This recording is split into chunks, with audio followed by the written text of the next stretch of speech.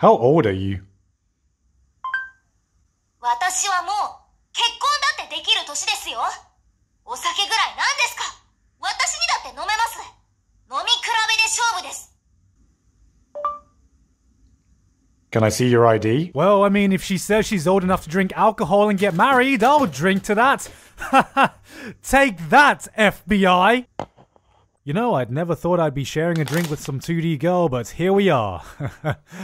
Wait a minute, she never actually told me her age. I wonder what it actually is. How old are you really?